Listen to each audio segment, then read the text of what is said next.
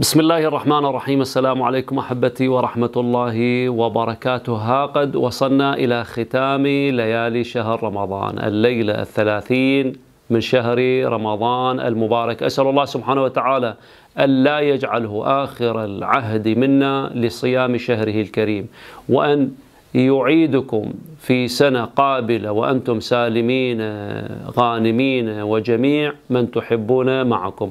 أعمال هذه الليلة كثيرة ما أريد أطيل عليكم.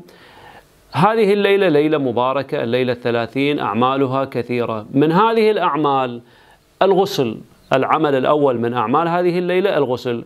طبعا الغسل مستحب يعني مو واجب. اللي يريد يسوي الأعمال مو إلا يغتسل. البعض يسأل هكذا أنه لازم أغتسل حتى أسوي الأعمال؟ لا. اللي يقدر يغتسل فيه ثواب. ما يقدر يغتسل ماكو إشكال في ذلك. وقته من الغروب من المغرب إلى الفجر كيفيته نفس كيفية غسل الجمعة نفس كيفية غسل الجنابة. لا فرق بينهما. النية أغتسل غسل هذه الليلة قربة إلى الله تعالى. هذا الغسل ملاحظة مهمة لا يغني عن الوضوء. هذا الغسل لا يغني عن الوضوء. يعني لما تغتسل وتكمل وتريد الصلاة لابد أنه تتوضأ. هذا العمل الأول. العمل الثاني زيارة الإمام الحسين عليه السلام. يستحب في هذه الليلة الثلاثين أيضا زيارة الإمام الحسين عليه السلام. من يوفق لزيارته هنيئا له ونعمة؟ من لا يستطيع بسبب الظرف بسبب الأمور الأخرى؟ المتعلقة بهذا الظرف. أيضا بإمكانه أن يزور من بيته هو ببيته يزور الإمام الحسين يتوجه نحو قبر الحسين عليه السلام ويزور الإمام الحسين بأي زيارة كانت. اللي ما يقدر كلش يتوجه نحو قبر الحسين ويزوره بهذه الزيارة البسيطة. الآن بإمكانك أن تتوجه معي ونزور الحسين بهذه الزيارة. السلام عليك يا أبا عبد الله. السلام عليك ورحمة الله وبركاته. هذه الزيارة البسيطة. السلام عليك يا أبا عبد الله. السلام عليك ورحمة الله وبركاته. هذه ثوابها يعادل حجة وعمرة. هذا العمل الثاني عفوا العمل الثالث هو قراءة سورة الأنعام والكهف وياسين. يستحب في هذه الليلة الثلاثين أن تقرأ هذه السور الثلاثة الأنعام والكهف وياسين. هذا العمل الثالث. العمل الرابع أن تقول في هذا اليوم مئة مرة أستغفر الله وأتوب إليه. أستغفر الله وأتوب إليه. هذه تكررها مئة مرة. تلزم السبحة بيدك السبحة 99 وتضيف لها واحد من الشواهد. يصير مئة. أستغفر الله وأتوب إليه. تكررها مئة مرة. وصلنا إلى العمل الخامس والمهم من أعمال هذه الليلة وهو صلاة هذه الليلة. بالحقيقة صلاة هذه الليلة عندنا صلاتين في هذه الليلة مو واحدة. الصلاة الأولى اللي يرويها صاحب الوسائل عن النبي صلى الله عليه وآله صلاة هذه الليلة يرويها هذه الرواية عن النبي يقول من صلى فيها اثنتي عشر ركعة. صلاة هذه الليلة 12 ركعة. الكيفية ما هي؟ في كل ركعة الحمد مرة والتوحيد عشرين مرة. خلي أبين لك الكيفية ما هي. صلاة هذه الليلة 12 ركعة كل ركعتين بتشهد وتسليم النوافل كلها ركعتين ركعتين مثل صلاة الصبح. يعني ست مرات مثل صلاة الصبح يصير مجموعة 12 ركعة. مباشرة النية بدون أذان ولا إقامة. النوافل ما بها أذان ولا إقامة. مباشرة النية. أصلي صلاة هذه الليلة قربة الله تعالى. الله أكبر. تكبيرة الإحرام. ثم تقرأ الحمد مرة واحدة.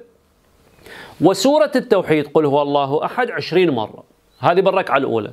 بالركعة الثانية كذلك. الحمد مرة واحدة وسورة التوحيد عشرين مرة أيضا.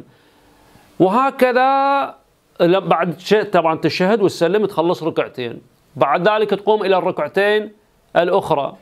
ومو يشترط أيضا مباشرة ممكن أنه تفصل بيناتهم فاصل إذا عندك شغلها ماكو مش إشكال في ذلك.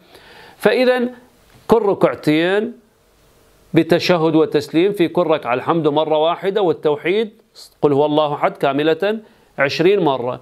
لما تخلص 12 ركعة وتكمل تصلي على النبي وآله مئة مرة. تقول اللهم صل على محمد وآل محمد مئة مرة. النبي يقول من صلاها ختم الله له بالرحمة. إذا أحبتي 12 ركعة ست مرات مثل صلاة الصبح في كل ركعة. الحمد مرة واحدة والتوحيد عشرين مرة. بعد ذلك بعد الانتهاء تصلي على النبي صلى الله عليه وآله مئة مرة. هذه الصلاة الأولى. الصلاة الثانية يرويها السيد ابن طاووس والكفعمي عن النبي صلى الله عليه وآله أنه من صلى في آخر ليلة من شهر رمضان يعني الليلة الثلاثين. إيش قد؟ عشر ركعات. الصلاة الأولى 12 ركعة. هذه الصلاة عشر ركعات. الكيفية ما هي؟ يقرأ في كل ركعة فاتحة الكتاب مرة وقل هو الله أحد عشر مرات. وبعد أكو كيفية؟ أبينها. خلي أبين الكيفية. عشر ركعات خمس مرات مثل صلاة الصبح. كل ركعتين بتشهد وتسليم. مباشرة النية بدون أذان ولا إقامة. أصلي صلاة هذه الليلة قربة إلى الله تعالى. ثم يكبر تكبيرة الإحرام الله أكبر. ثم يقرأ الحمد مرة واحدة. وقل هو الله أحد عشر مرات. لما يركع ويقول سبحان ربي العظيم وبحمده يقول عشر مرات سبحان الله والحمد لله ولا إله إلا الله والله أكبر. عشر مرات. سبحان الله والحمد لله ولا إله إلا الله والله أكبر. إيش قد؟ عشر مرات. لما يسجد سبحان ربي الأعلى وبحمده أيضا يقول سبحان الله والحمد لله ولا إله إلا الله والله أكبر عشر مرات. يقعد بعد ذلك يسجد السجدة الثانية أيضا بعد الذكر بعد أن يقول سبحان ربي الأعلى وبحمده يقول سبحان الله والحمد لله ولا إله إلا الله والله أكبر عشر مرات. ثم بعد ذلك يقوم إلى الركعة الثانية. الركعة الثانية كيفيتها؟ أيضا الحمد مرة واحدة والتوحيد عشر مرات. لما يركع ويأتي بذكر الركوع يقول سبحان الله والحمد لله ولا إله إلا الله والله أكبر عشر مرات. لما يسجد أيضا يأتي بذكر السجود سبحان ربي الأعلى وبحمده. ثم يقول سبحان الله والحمد لله ولا إله إلا الله والله أكبر عشر مرات. ثم يسجد السجدتين ويتشهد ويسلم. هذه صار عنده ركعتين. الركعتين الثانية بالضبط نفس كيفية الركعتين الأولى. بالحمد مرة واحدة وقل هو الله أحد عشر مرات وبكل ركوع وبكل سجود يقول سبحان الله والحمد لله ولا إله إلا الله والله أكبر عشر مرات. وهكذا عشر ركعات. من يخلص العشر ركعات ويسلم بالركعة الأخيرة. يقول أستغفر الله ألف مرة. من يكمل العشر ركعات. يقول أستغفر الله ألف مرة يعني عشر مرات بالسبحة كاملة يديرها. عشر مرات بالسبحة. يقول أستغفر الله ألف مرة من يكمل الاستغفار يسجد. من كمل الاستغفار عشر ركعات كملهن وكمل الاستغفار ألف مرة بعد ذلك يسجد. ويقول في سجوده يا حي يا قيوم يا ذا الجلال والإكرام يا رحمن الدنيا والآخرة ورحيمه ورحيمهما.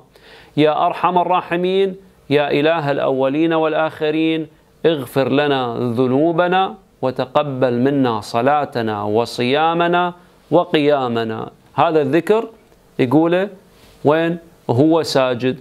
بعد ذلك يرفع رأسه وتخلص هذه الصلاة العشر ركعات. يقول النبي صلى الله عليه وآله شوف ثواب هذه العشر ركعات. يقول والذي بعثني بالحق نبيا أن جبرائيل أخبرني عن إسرافيل عن ربه تبارك وتعالى أنه لا يرفع رأسه من السجود هذا السجود الأخير حتى يغفر الله له ويتقبل منه شهر رمضان ويتجاوز عن ذنوبه. اللي يكمل هذه العشر الركعات العشرة. الله عز وجل يغفر له ويتقبل منا صيامه في شهر رمضان ويتجاوز عن ذنوبه. طبعا هذه الصلاة تقريبا مشابهة لها أيضا تروى في آه، ليلة عيد الفطر أيضا تصلى بس بكيفية شوية بها اختلاف. فهذه صلوات هذه الليلة. بقى شنو عندنا؟ بقى عندنا أدعية هذه الليلة. مثل ما تعودنا أنا وياكم أنه نقرأ الأدعية سوية. أنا أقرأ نيابة عنكم عن جميع الأحبة المشتركين والمستمعين والمتابعين. أنتم اقرأوا أصالة عن أنفسكم. نيابة عن النبي وآله وخصوصا الإمام الحجة عجل الله تعالى فرجه الشريف حتى يعظم لكم الثواب. ونيابة عن والديكم إخوانكم أخواتكم أحبائكم أشركوا جميع من تحبون وأشركوني معكم. لا تنسوني في دعواتكم. جميعا سوية نقرأ دعاء الليلة الثلاثين من شهر رمضان. بسم الله الرحمن الرحيم. اللهم صل على محمد وآل محمد. الحمد لله لا شريك له. الحمد لله كما ينبغي لكرم وجهه وعز جلاله وكما هو أهله. يا قدوس يا نور يا نور القدس. يا سبوح يا منتهى التسبيح. يا رحمن يا فاعل الرحمة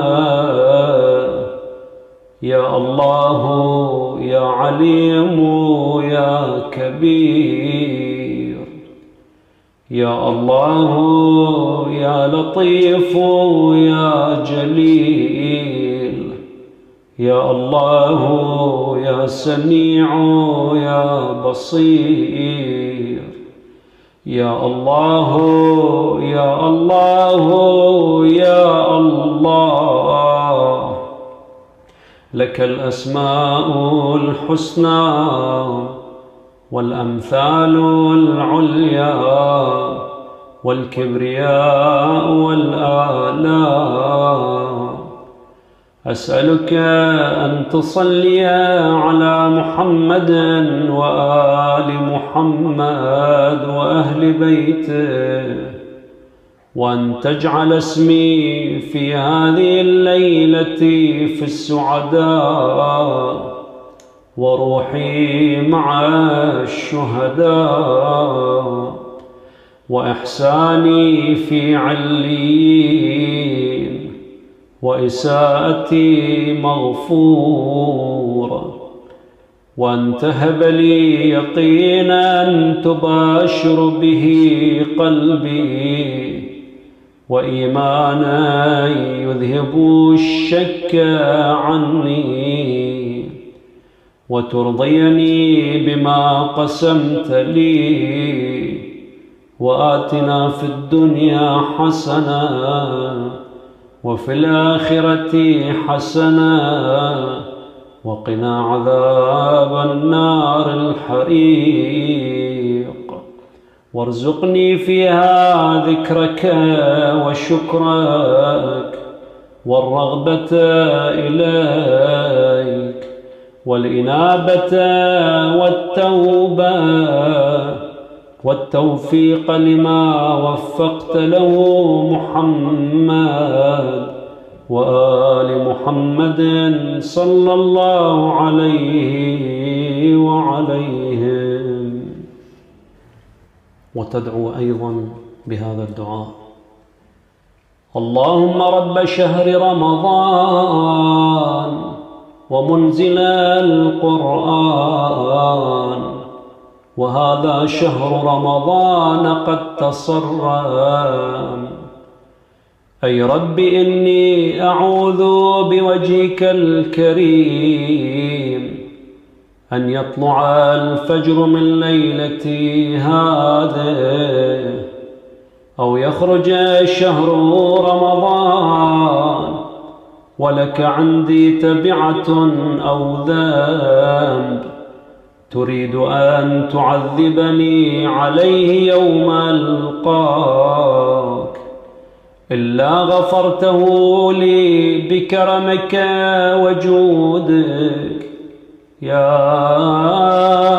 أرحم الراحمين. اللهم صل على محمد وآل محمد.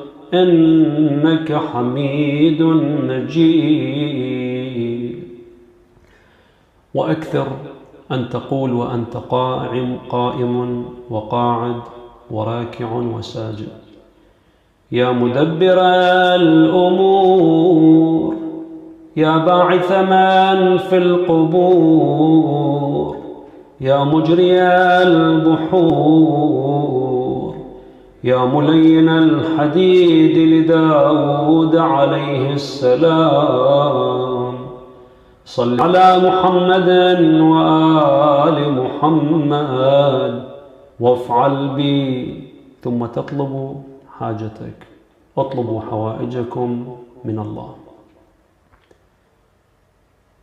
ثم تقول الساعة الساعة. الليلة الليلة حتى ينقطع النفس. وأيضا يدعو بهذا الدعاء الذي رآه الكليني عن الإمام الصادق عليه السلام. اللهم هذا شهر رمضان الذي أنزلت فيه القرآن وقد تصرم وأعوذ بوجهك الكريم يا رب أن يطلع الفجر من ليلتي هذه أو يتصرم شهر رمضان ولك قبلي تبعة أو ذنب تريد أن تعذبني به يوم ألقاك وأن يودع شهر رمضان فعن الإمام الصادق عليه السلام قال من ودع شهر رمضان في آخر ليلة منه وقال اللهم لا تجعله آخر العهد من صيامي لشهر رمضان. اللهم لا تجعله آخر العهد من صيامي لشهر رمضان. وأعوذ بك أن يطلع الفجر من ليلتي هذه. وأعوذ بك أن يطلع فجر هذه الليلة إلا وقد غفرت لي. يقول الإمام الصادق عليه السلام من قال هذا الدعاء غفر الله تعالى له قبل أن يصبح ورزقه الإنابة إليه. وعن جابر بن عبد الله الأنصاري قال دخلت على رسول الله صلى الله عليه وآله في آخر جمعة من شهر رمضان. فلما أبصر بي قال لي يا جابر هذا آخر جمعة من شهر رمضان فودعه ثم ذكر هذا الدعاء. فإنه من قال ذلك ظفر بإحدى الحسنيين إما ببلوغ شهر رمضان من قابل وإما وإما بغفران الله ورحمته وهذا هو الدعاء.